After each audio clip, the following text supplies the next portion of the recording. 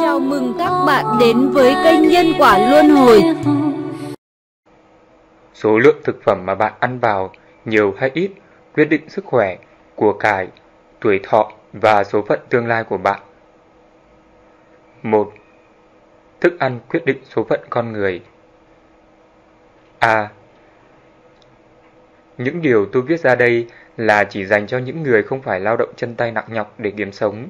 Những người lao động chân tay khỏe mạnh cần ăn một lượng thức ăn tương ứng với cơ thể họ, phù hợp với tầm vóc, sức lực của họ và công việc họ làm.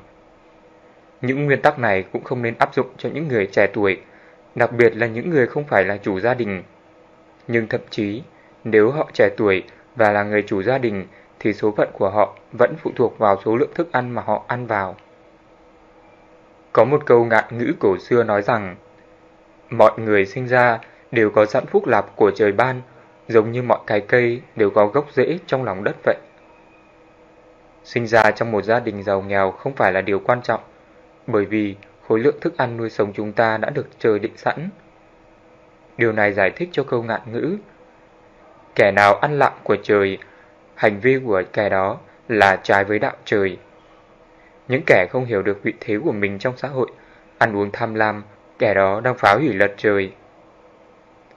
Vạn vật sinh ra đều có một lượng thức ăn nhất định do trời ban cho. Nơi nào có sự sống, nơi đó luôn có đủ thức ăn cho riêng nó. Có thể nhìn nhận theo cách khác, nhưng thực sự là luôn có thức ăn dành cho chúng ta. Nơi nào có sự sống, nơi đó có thức ăn. Nơi nào có thức ăn, nơi đó có sự sống. Tóm lại, thức ăn là cội nguồn của sự sống, là cốt tủy của sự sống, và mọi điều chúng ta làm đều bị chi phối bởi thức ăn mà chúng ta ăn. Chúng ta phải luôn dành cho thức ăn trong niềm tôn kính sâu sắc nhất. Chúng ta phải khiêm tốn trong cách ăn. Thức ăn thực sự có tầm quan trọng lớn lao nhất. B.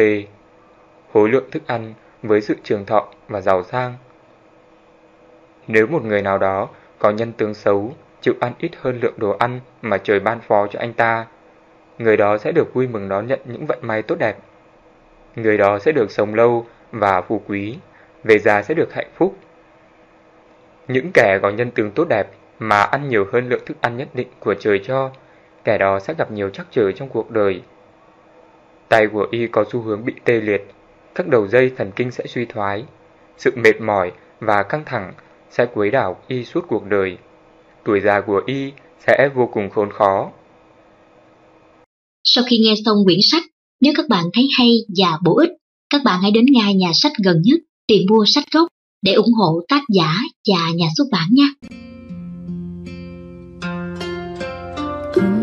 ha ha ha, 问什么的所和。